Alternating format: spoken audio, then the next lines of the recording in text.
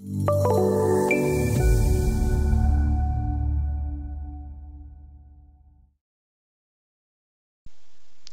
let's take a look at modeling pavement markings.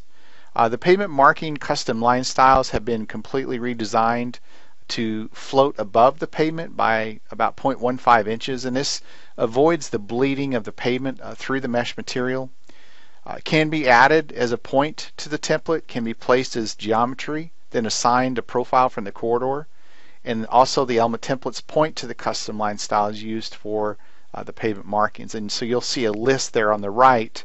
Uh, this is the imperial list. We also have a metric list. And this is uh, supported uh, coming from the MUTCD manual here in uh, the imperial environment.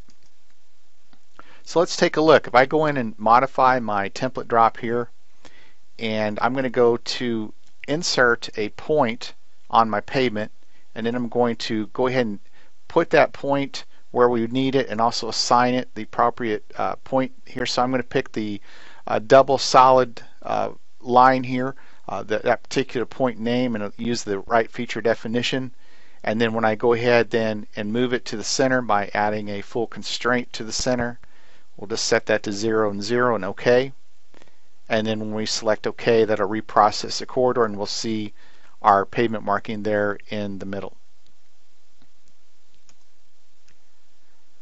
Now we take a look at a different way to do this. We can draw our geometry and give it a profile. So if I want to offset the baseline using the pavement marking double solid here, I'll select my baseline.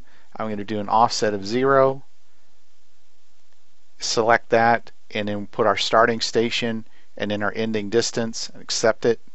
And so you'll see that a solid right, skip dash left, put in our ending station and accept. Then all we have to do is select profile from surface.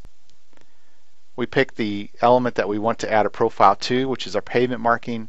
Then we simply pick our corridor to provide our profile, accept that, and go through the default prompts, and it'll then assign that profile and also make it active to our pavement marking and put it in the right place. And so you'll see that that then is essentially being ruled vertically by the design of the corridor.